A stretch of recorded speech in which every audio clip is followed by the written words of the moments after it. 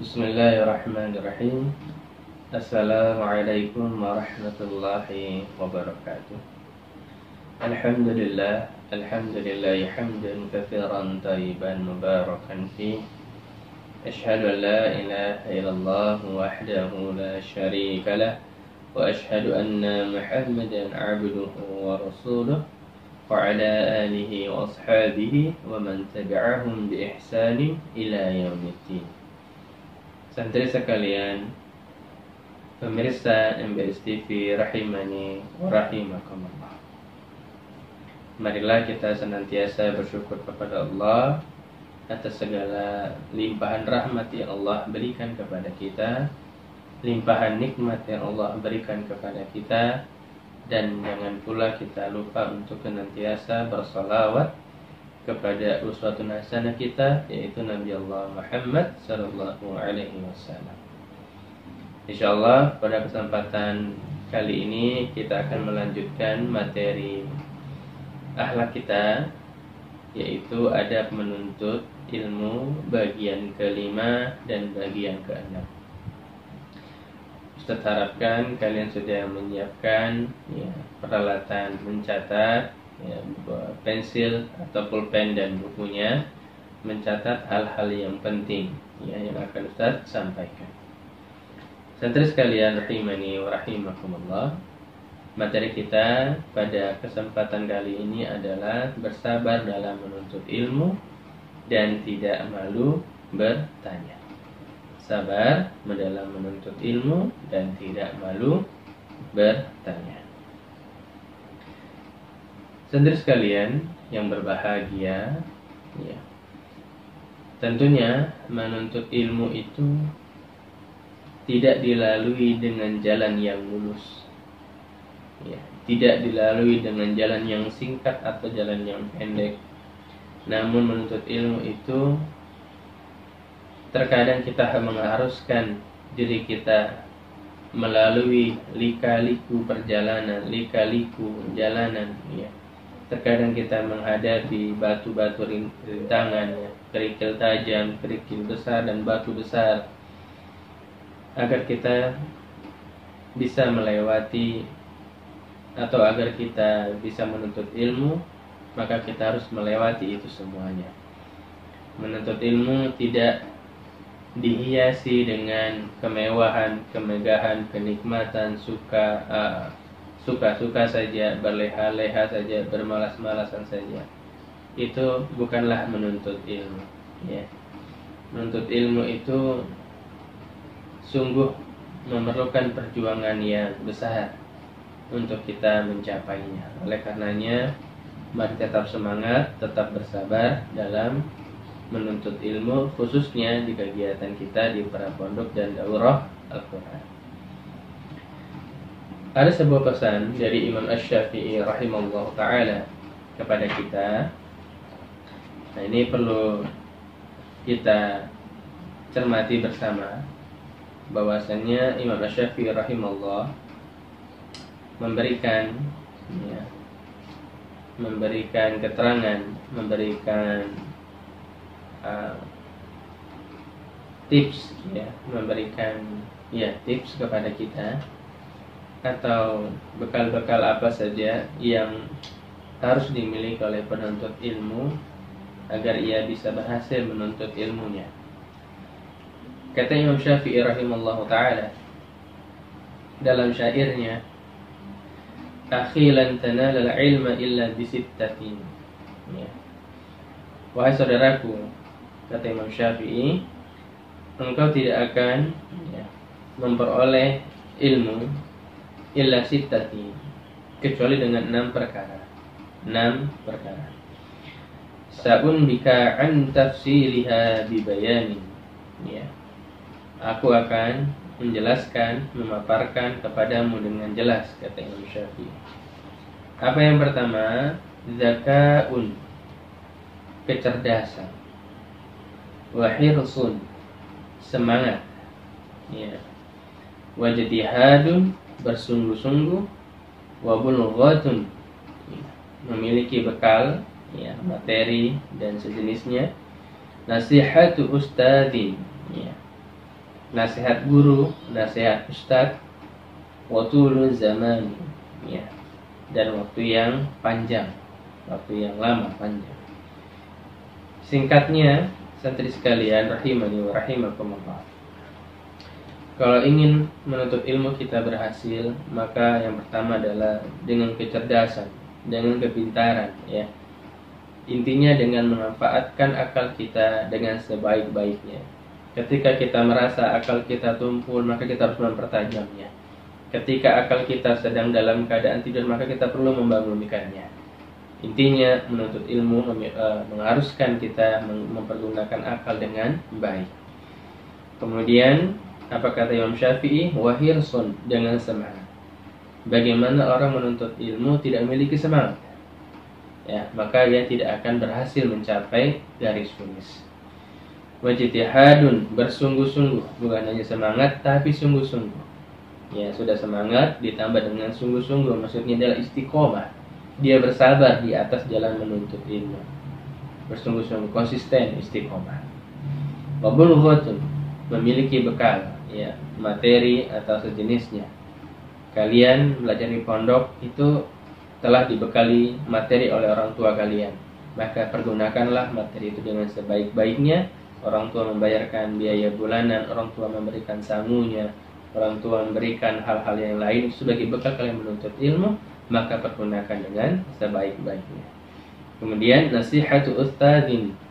Senantiasa mendengarkan nasihat guru atau guru atau ustadz ya. Di mana pun kita kita menuntut ilmu ya, jangan sombong ya. Jangan menjadi orang yang enggan uh, untuk mendengarkan nasihat. Merasa pintar merasa soleh merasa cerdas ya.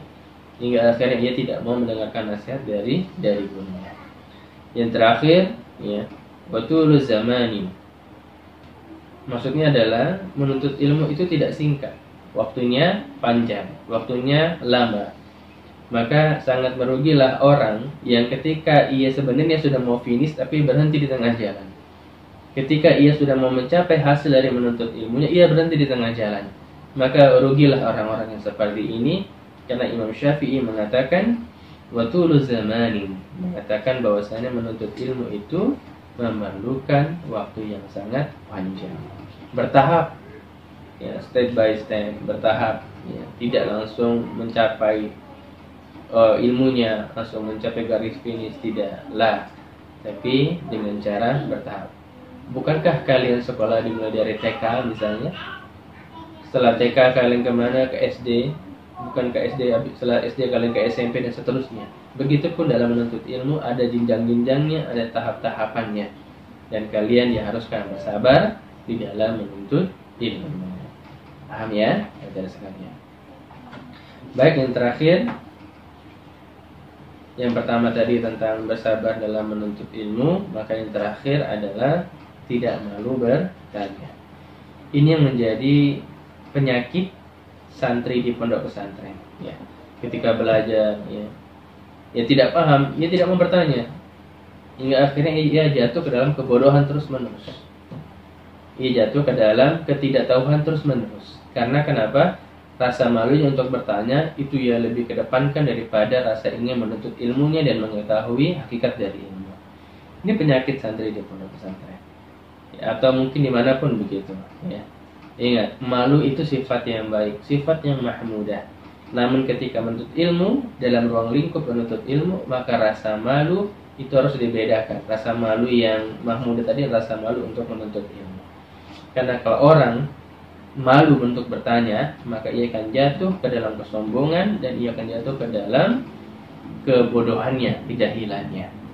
Makanya sangat merugi orang jika ia malu bertanya, padahal bisa jadi jawaban itu sangat sederhana, tapi ia malu bertanya, ia tidak akan tahu sampai akhir hayatnya, misalnya seperti itu. Maka tentu sekalian, ketika ada yang ingin ditanyakan, maka serah bertanya, jangan malu. Ya, banyak wasilahnya, bisa ditulis, bisa melalui perantara teman, ya, dan hal-hal sejenisnya. Jadi tidak perlu malu untuk bertanya. Dan Ustadz akan menyampaikan bahwasannya dua hal yang dapat menghalangi orang menuntut ilmu. Nah, ini penting buat kalian semuanya, buat santri sekalian. Ini disampaikan oleh sebuah apa namanya asar sahih, ya. Diriwayatkan oleh Al Bukhari secara mualaf dalam sahihnya. Imam Mujahid bin Jabar berkata, لا يتعلم علم مستحي ولا مستكبر tidak akan mendapatkan ilmu ya, orang yang pemalu dan orang yang sombong. La yata'allamu ilma mustahyin wa la mustakbir tidak akan mendapatkan ilmu orang yang malu dan orang yang sombong. Nah, dua hal ini menjadi penghalang seorang menuntut ilmu untuk mendapatkan hasilnya.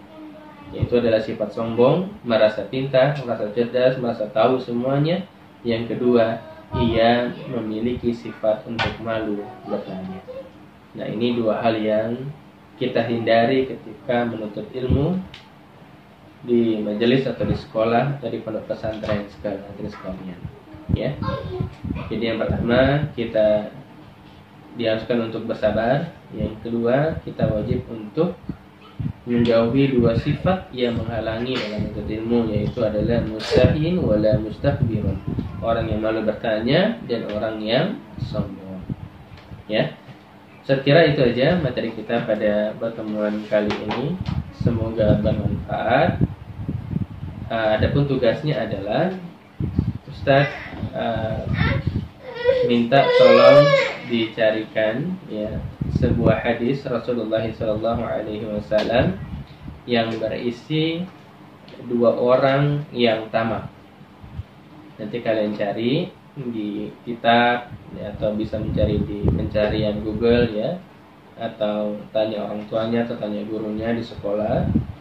Carilah sebuah hadis yang berisi keterangan dua orang yang tamak dua jenis orang yang tamak di dalam uh, di dalam kehidupan kita. Nah, ya. Dua orang itu siapa aja? Tolong tulis hadisnya dan tulis artinya, kemudian fotokan, kirimkan ke Ustaz, ya. Nanti sekalian. Nah, um, tatkala mengirim tugas, maka Ustaz tidak dapat membalas satu persatu, maka kirimkan saja. Ustaz Ustaz akan uh, memeriksa semuanya walaupun tidak dapat membalasnya sebagai bukti Ustaz telah merespon pesan kalian. Tapi bersangka baik saja, insya Allah tugasnya sudah sudah masuk. Ya, tetap semangat. Satu lagi tugasnya adalah carilah sebuah hadis yang berisi tentang keterangan dua orang yang tamak. Dua jenis orang yang tamak. Tulis lafaz hadisnya dan terjemahannya. Lebih bagus lagi disertai dengan hadis riwayat siapa ya pahamnya dan sekalian saya kira demikianlah materi kita pada kesempatan kali ini mari kita sama-sama mengucapkan hamdalah alhamdulillahirabbil dan rahmatul majlis Subhanakallahumma bihamdik asyhadu an la ilaha anta astaghfiruka wa atubu ilaik. Assalamualaikum warahmatullahi wabarakatuh.